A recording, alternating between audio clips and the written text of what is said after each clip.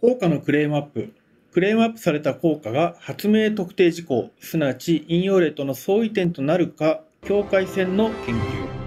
発明の効果をクレームアップした場合、当該構成がかかる効果を必ずそうする場合はダメですけど、そうでなければ発明特定事項として認められる、そういう裁判例が多数となっています。ということは、この効果が発明特定事項ですから、それが用意相当でなければ進歩性は丸になるということですね。そういう裁判例は多いです。効果をクレームアップしてもしなくても充足論では効果をそうするものとしてクレーム語が解釈されることが多いと思いますのでそう考えると効果をクレームアップしても発明の技術的範囲は狭まらないことも多いのではないでしょうかすると充足論に悪影響が少なく発明特定事項になるとしたら効果のクレームアップというのは出願戦略また補正訂正戦略において有効な手段となり得る。今日のお話はそういうことです。まず請求項中に記載された効果が発明特定事項と認められなかった裁判例についてですが東京地判平成16年は15892の樹脂事件高部判決ですが請求項に遠赤外線放射機能を有する黒鉛形石を配合したことを特徴する樹脂という発明でした。藩士によると天然の黒鉛形石はそれ自体遠赤外線機能を有するということで発明特定事項にならなかった。これは先ほども言ったようにこのものが必ずその効果をそうする場合なのでその場合には発明特定事項にならない。そもそも特定されてないということで仕方なかった例であります。次の平成22年行基10055血管老化抑制剤滝沢判決ですが請求項を見ますと重量平均分子量3000の魚皮由来低分子コラーゲン必須成分とする血管内膜圧を減少させることを特徴とする血管老化抑制剤ということですが半紙を見ますと血管内膜を減少させることは発明の作用効果に関する事項であって本件補正発明を物の観点から特定するものではないとされました。これは効果だからダメと言ってるわけじゃなくて物の観点から特定していないと言ってるわけですね。ですから、このコラーゲンの中でも血管内膜圧を減少させるものとさせないものがあってさせるものに限定したっていうんだったらものの観点から特定したって言えるんでしょうただこの場合はそうではないと認定されたしまたそのように明細書には書いてなかったということです。次の事件は平成23年行基10050骨粗鬆症活性を有する粗生物事件。塩付き判決ですが石油庫を見ますとカルシウム、キト酸、プロポリスを配合した抗骨粗鬆症活性を有する組成物ということですね。これ、半紙見ますと、本願発明における抗骨粗鬆症を有するという記載は、物の発明である本願発明の抗骨粗鬆症という性質を記載したに過ぎないと。で、物としての組成物をさらに限定したり、組成物の用途を限定したりするものではないから、発明特定事項にならないとされたわけですね。まあ、これもカルシウム、キトサン、プロポリスって言ったら、この発明でいうところの抗骨粗鬆症活性は有する、常に有するということで、物としての組成物や用途をさらに限定してないということになったわけです。また、最近ですけど、平成31年のモメタゾンフロエートの使用の事件、プロ判決ですが、請求項2に着目すると、この未変化のモメタゾンフロエートの絶対的バイオアベイラビリティが約1%未満であるという充足なんですけど、判旨を見ますと、未変化のモメタゾンフロエートの絶対的バイオアベイラビリティが約1%未満っていうのは、これ、モメタゾンフロエートの水性懸濁液を含有する薬剤を鼻孔内に投与した場合に現れる客観的な性質、だから必ず現れるってことですね。それでは、発明特定事項にはならない。単に性質を書いただけっていうことになってしまいます。もちろん、用途のように書けばまた別なんでしょうけど、効果のクレームアップとしては発明特定事項にはならないという事件でした。さて、これらの事件とは対照的に、効果が発明特定事項と認められた裁判例も多数、むしろこちらの方が多いと思われます。古くは、東京公判平成14年行家34に、棒塗料組成物事件、篠原判決ですが、要するに何々を含有するゲル化せず長期保存が可能な棒塗料組成物という発明でした。これはこのゲル化せず長期保存が可能という性質はこの構成要件になっているということなので、これが満たされるか、この性質が選択発明を構成するに足りるか否かは判断されるべきと言って、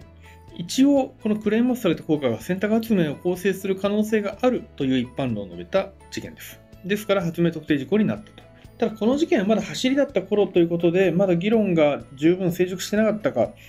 ゲル化せず長期保存が可能な場合と可能でない場合があるのか、ちょっとそこはわからないところです。次の平成17年行刑10860無縁ハンダ合金事件中野判決ですが、この発明は CU、ニッケル、FN からなる金属管化合物の発生を抑制し、流動性が向上したことを特徴する無縁ハンダ合金という事件でありまして、CU、ニッケル、FN という物質が入ってるんですけど、それだけじゃなくて、金属管化合物の発生を抑制してる。で、流動性が向上したということを発明特定事項として、効果としてクレームアップしたものですね。ですると、まあ、そのようなものに限られるわけなので、これは発明特定事項として認められ、引用例は本件発明1でいうところの金属管化合物の発生を抑制し、流動性が向上したとは言えないということで、相違点になったということですね。もちろん、この金属管化合物の発生をどの程度抑制すればいいのか、流動性がどの程度向上すればいいのか、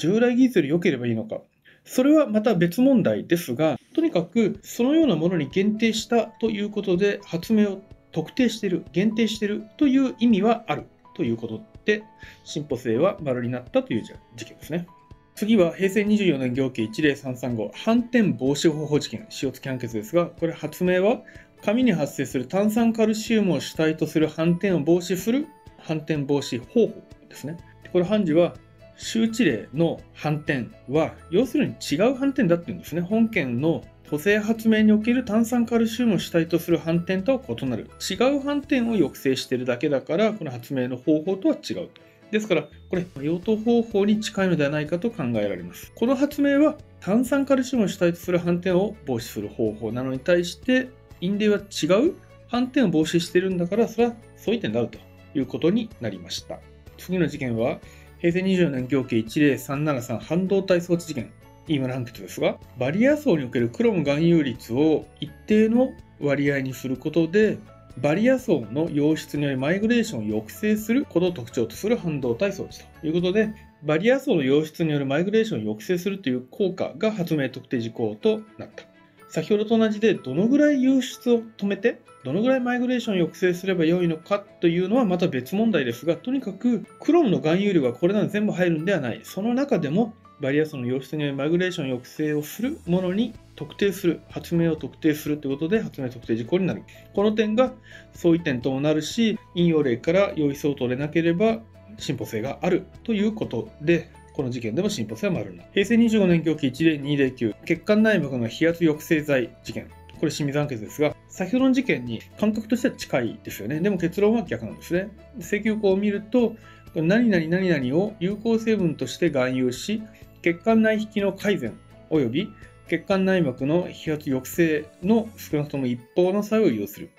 まあ、この効果、効果、どちらかを有するとですね。で、半紙を見ると、従来技術の個々の AC 阻害剤が実際にこれらの作用を有するかは、格別の実験によって確認しなければわからないという状況だったのだから、このような効果があったことは知られてはいなかったと。ですから、このクレームアップされた効果は、このものの構成用途さらに特定するといえ、これ発明特定事項になるという知見でした。他には、平成27年行刑10097発行装置事件、大高判事の判決ですが、内部量子効率が80%以上。まあこれ機能というか効果なんですけど、まあそのような効果を有するものに限定してるんだから当然結果的には物も限定されてますよね。ですから、まあ、サポート要件さえあれば進歩性の段階ではこの発明はそのようなものに限定する。内部量子効率80%以上という構成を容易に相当できたとは認められないということで進歩性は丸になりました。まあ、別件でこれサポート要件も丸になっているのでこの発明は発明として成り立ったとですね。平成28年行刑10107乳がん再発の予防用ワクチン事件森判決ですが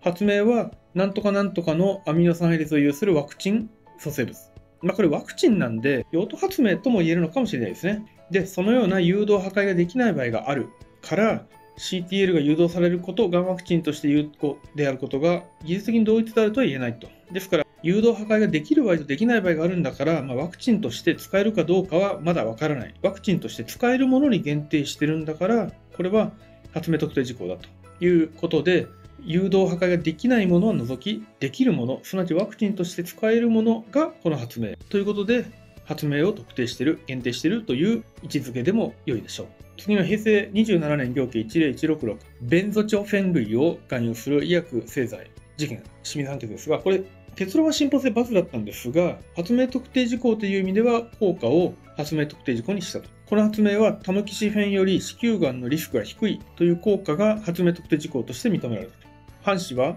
闘牛した例は、ラロキシフェンはタモキシフェンより子宮がんのリスクが低いことを容易に予測できた。ですから結局これ、進歩性は×になってしまったんですけど、まずこれ発明特定事項ではあると。で、これは用意相当かどうかという議論に入って、この事件では用意相当になってしまったが、あくまでそれは発明特定事項ではある。用意相当だから進歩性がないんだ。ということで、なんとかより何々が高い低いという発明も発明特定事項になるということが分かります。この本事案ではクレームアップされた効果は用意相当だったとして進歩性×になりましたが、出願の時にまた補正訂正で判断枠組みとしては何々よりも効果がいいというようなことは発明特定事項になるということで効果の用意相当性が問題となる。この点は出願戦略上覚えておくといいでしょう。他には平成24年行刑10398製品加工事件しだら判決ですが合心と重心が変身するように設計されている精神科局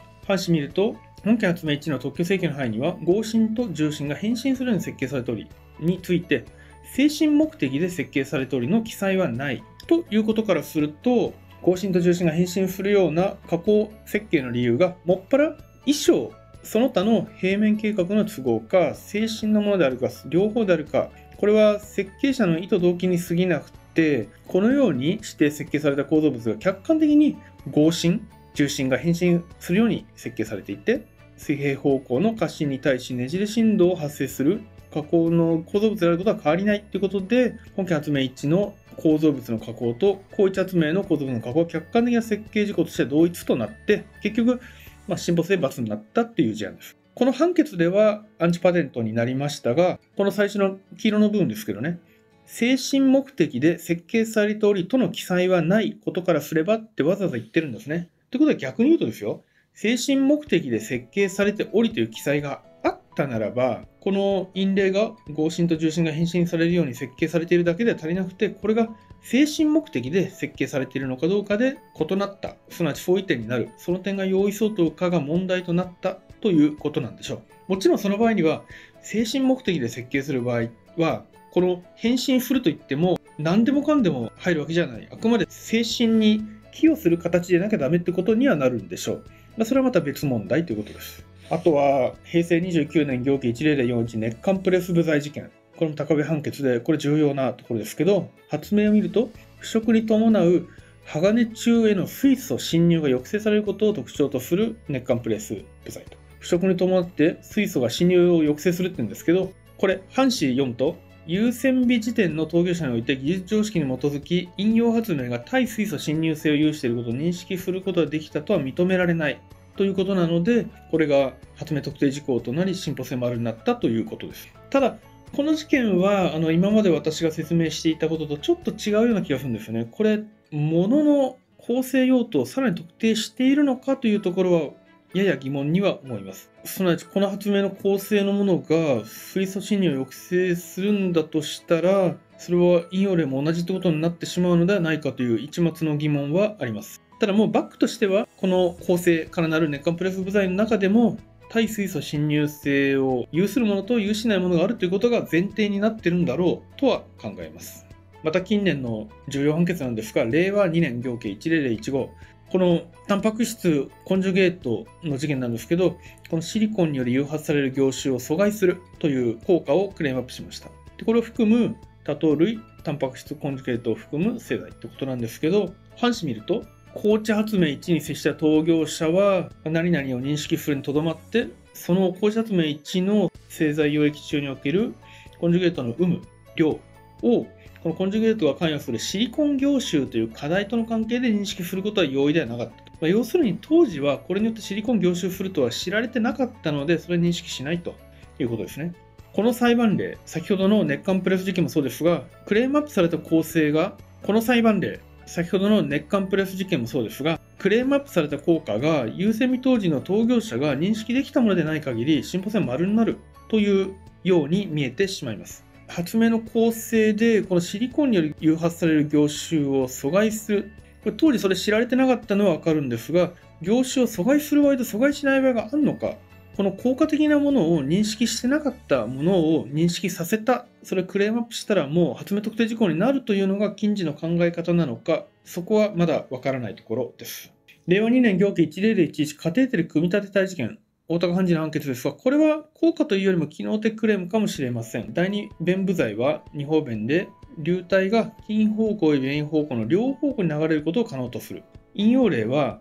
図からこのフリットが流体の流入も流出も可能とするように開口可能ってことは読み取れないってことで引用例とは相違点となりました。まあ、これは効果というより機能的に書いて引用例はそのような機能有しないということで差別化できたという事件ですね。